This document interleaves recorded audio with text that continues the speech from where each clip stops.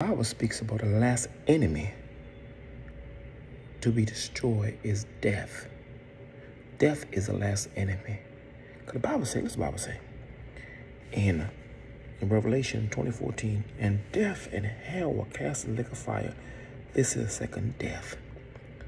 So the last enemy, which is death, will be cast in the lake of fire. See, that's why I don't understand people that people don't believe the Bible.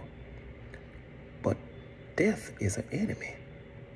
We're supposed to live on earth forever. But when sin happened, death came. Remember when Adam and Eve sinned because of consequences. Consequences bring sin, my friend. Sin is a consequences of result of you being disobedient. So when the Bible says the last enemy, Adam put down prescription, the last enemy that should be destroyed is death. So death is an enemy.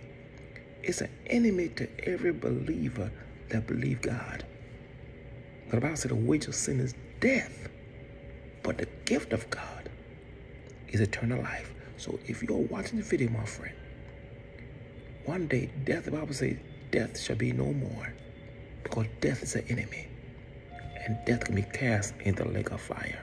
But say life and death in the power of the tongue, and they that love the fruit thereof. So life and death in the red rag we have in our mouth. You can speak life, or you can speak death. My friend, the Bible says, why die before your time? So I'm telling you, my friend, Jesus Christ say, listen Jesus Christ say, Jesus Christ say, you have the key of death and hell.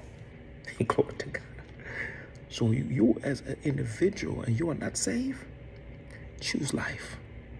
Because life is Jesus. Death is of the devil. Death is of Satan. My friend, in the beginning, we supposed to live forever.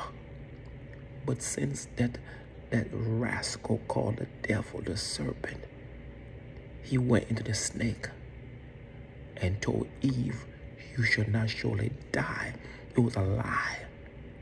And listen, he's still speaking right now. He speak to young people that have a baby out of wedlock. If you have a baby out of wedlock not being married, Satan spoke to you. If you're a person that's drinking and, and getting drunk, Satan has spoken to you. If you're a person that's smoking weed, you were the doctor, and to the doctor you can't sleep at night. Please subscribe some cannabis for me. And you being uh, naive, gullible, think this cannabis gonna put you to sleep, my friend. The last enemy to be destroyed is death. And death and listen Bible say, and death and hell were cast in lake of fire. This is the second death.